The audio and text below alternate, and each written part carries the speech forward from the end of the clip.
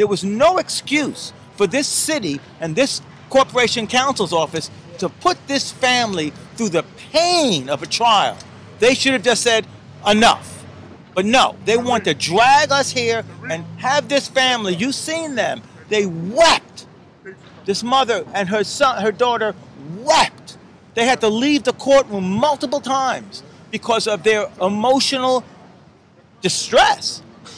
So, And that could have been put to rest a long time ago. So I put this at the feet of our progressive mayor, the progressive mayor in New York City who wants to change the way the police operate in the black community. He should come talk to us.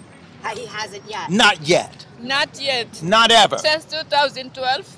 Have you have you reached out? They, it says this, listen, listen, listen.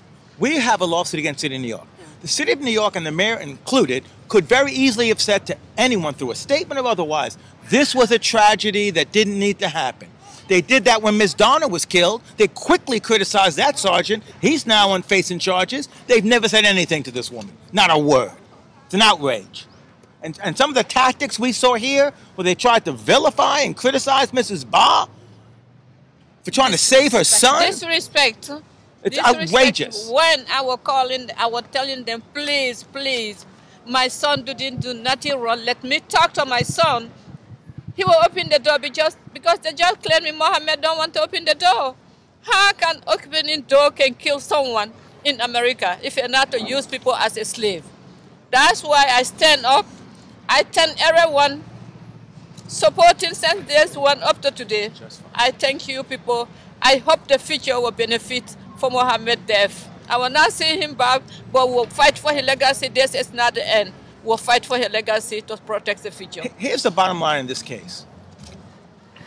Mohamed's mother called the 911 because she wanted, she was concerned about her son's mental health.